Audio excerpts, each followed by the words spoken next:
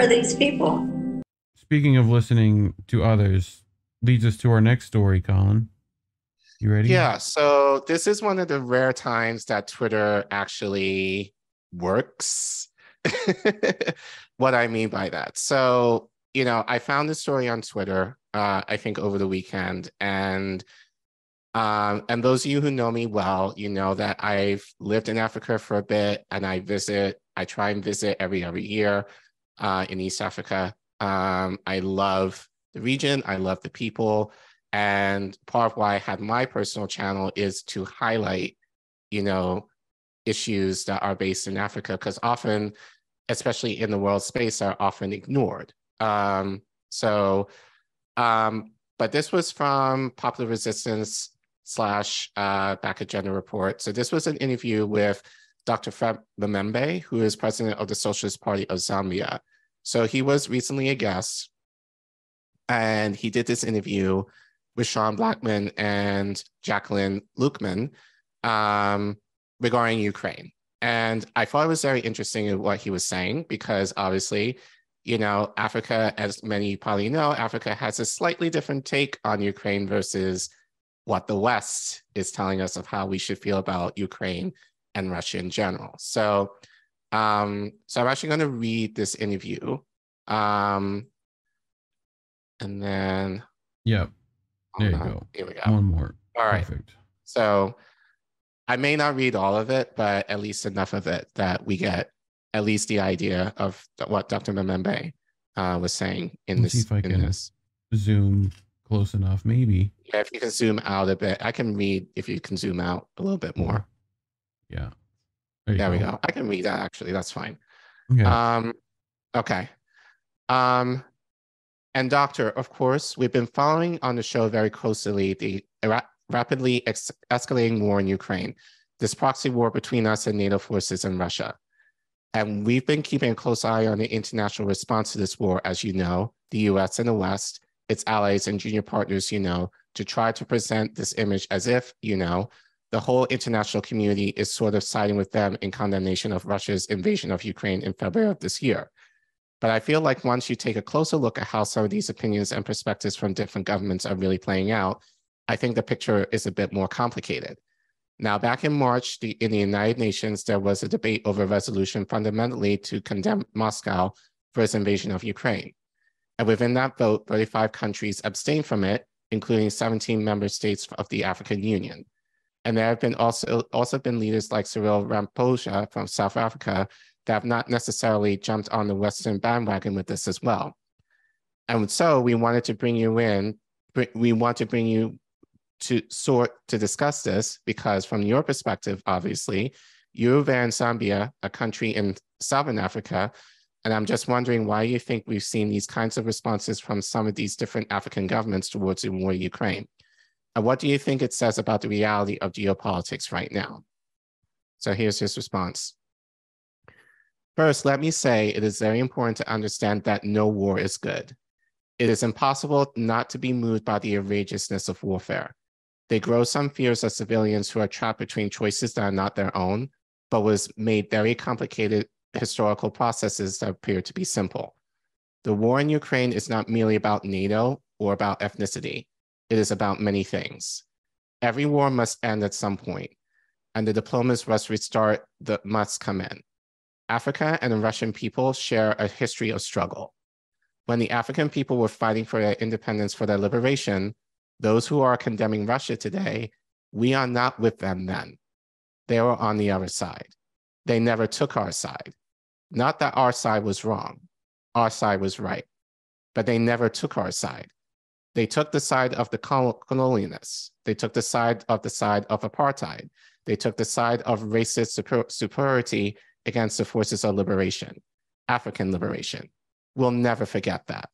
They want us to forget that, but it's not easy to forget that because it's not very long ago, Zimbabwe only became independent in 1980. Namibia only became independent in 1990. This was not very long ago in terms of historical processes. We knew, we know who stood with the apartheid regime in South Africa. We know who stood with the racist regime in Rhodesia, now Zimbabwe. We know who sided with the colonialists in Angola in Mozambique, in the Cape Verde. We know all these things. So the African people have a sense of history as well. It's not possible for Africans to condemn Russia given where we're coming from together.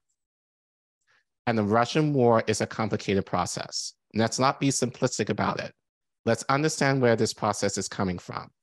Since 1990, there's been an attempt to expand the NATO forces in Eastern Europe up to Russia. There was some cooperation initially, even from Russia itself, under Boris Yeltsin. There was some engagement, but all that has changed. And it's important to understand that long history and the Africans understand that. We are able to analyze things for ourselves. We're able to see things for ourselves. We're able to come to our own conclusions. And we also, we understand the decisions and actions of our enemies and also decisions and actions of our friends. We're even able to understand the mistakes of our friends and to separate them or single them out to identify them from the actions and decisions of our enemies. We know who our friends are. The Russian people have stood on our side. Russia has never had colonies in Africa. That must be understood. Despite helping to liberate us, Russia has never taken control of any African country. Russia has never colonized any country that they helped to liberate. Russia has not exploited an African country. We do not know of any country in Africa that can claim it was a colony of Russia, claim that it has been exploited and humiliated by Russia.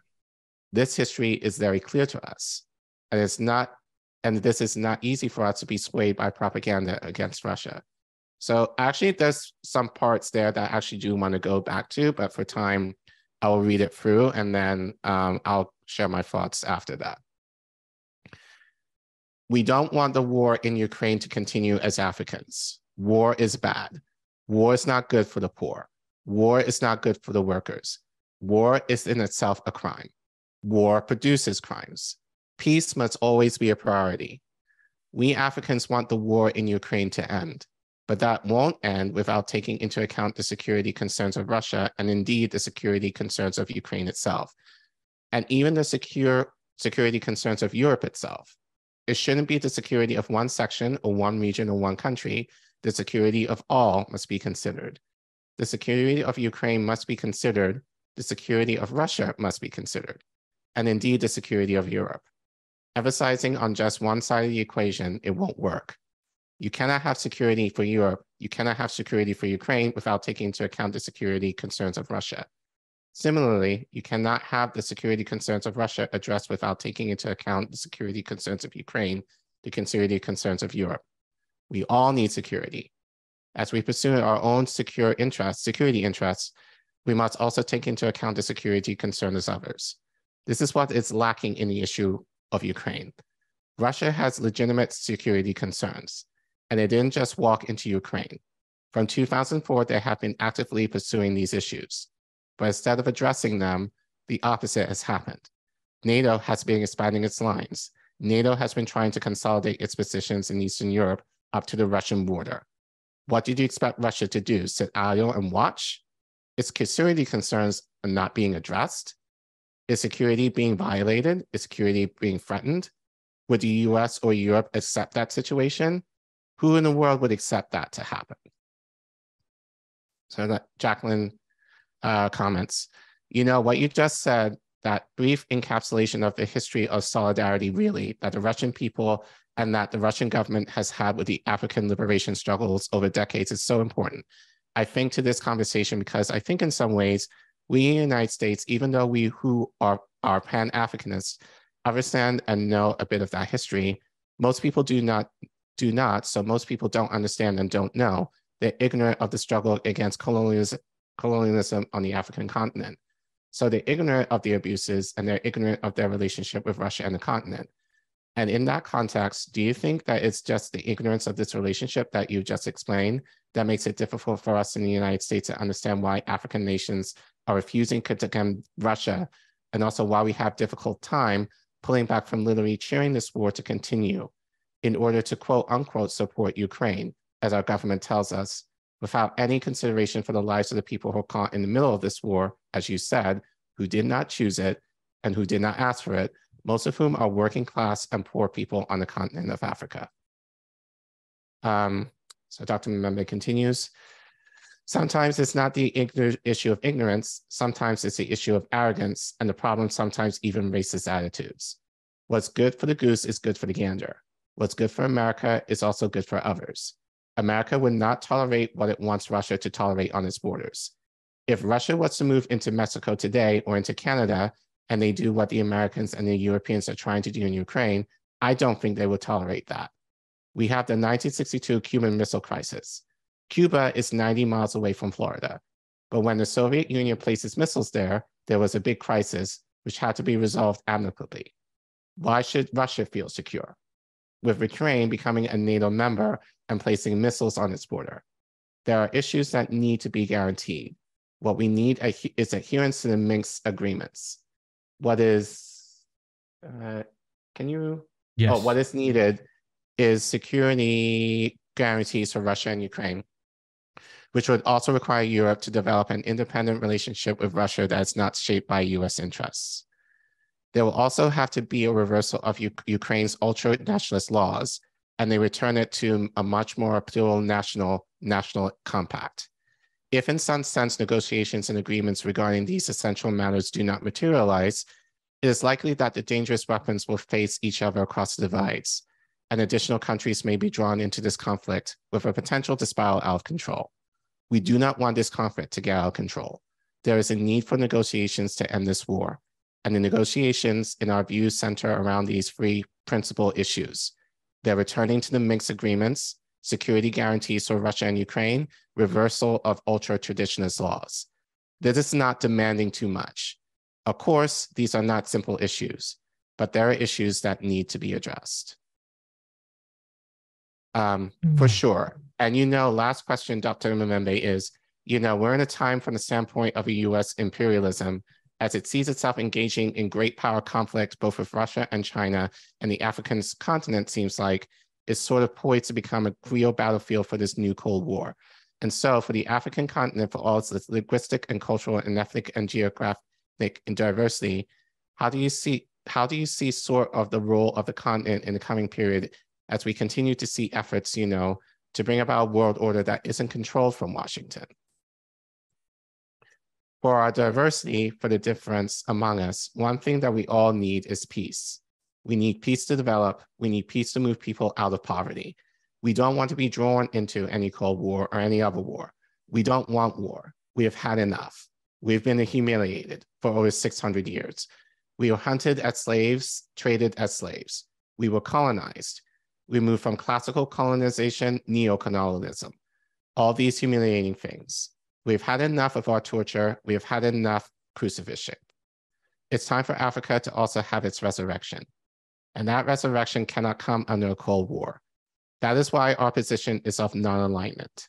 We have the right to pursue our own interests, while others also have the right to pursue their own interests. But one thing that is in common is that we need a peaceful world. All of our, all our people need a peaceful world.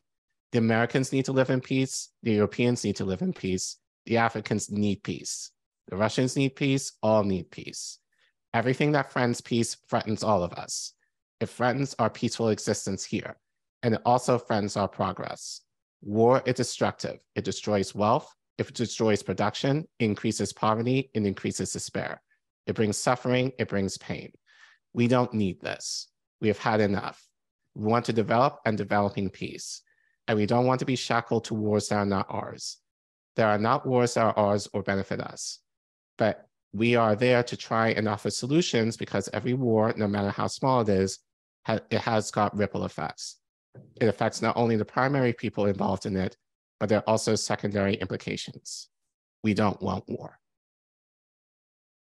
So I have some thoughts um, I'll go back to, but Sabby and Reef, you have any thoughts? That was a lot, but I think he makes it very clear about, at least in Zambia, uh, where he stands on this war in Ukraine. Abby? That's right. Um, I was just gonna say, um, it's it's not surprising to me, and I'm glad that he mentioned that that Russia never colonized uh, in Africa, um, because I don't think a lot of people are aware of that, and that would explain, you know, the fact that Africa said that they wanted to, to remain neutral in reference to this conflict. I felt like that was the right way to go. Um, and of course, you know, they have received pressure from other countries, other European countries to not remain neutral and to take the side of Ukraine. But the thing is, is that they remember their history, they remember their experiences that they've had uh, with Russia. And so I don't blame them for just wanting to stay out of it. But I agree, same thing. Like war is not good for anybody, uh, except for the people who are part of the weapon uh, manufacturer business. Yeah. Like it's good for them, Right. profitable for them. Right. Yeah, I mean, I think it, it mentioned the the um treatment of like black people in Ukraine. I think in that story, didn't Yeah. it? Okay. Which no one's talking about. no, No one has talked about. And Garland Nixon, I know, talked about it, and he's off Twitter, so he can Right. get let back on there. That would be nice. Um, Yeah, we talked about how the African students were treated in Ukraine when this first started, um, and they wouldn't let them get on the trains. We did. We talked about that at RBN. Um, but no, you're right. Uh, a lot of people that have discussed this have left that piece out. And um, I talked about the message that came from the Peace Corps, where they were warning Yeah. Black Americans not to go over there to volunteer to help because this is what you are going to have to deal with if you come over here. And this is how they view Black people in Ukraine. And it was really interesting to me that same thing, like what Collin was saying, most people who have covered this conflict have not brought this up about the way that they've been treating uh, Black people in Ukraine.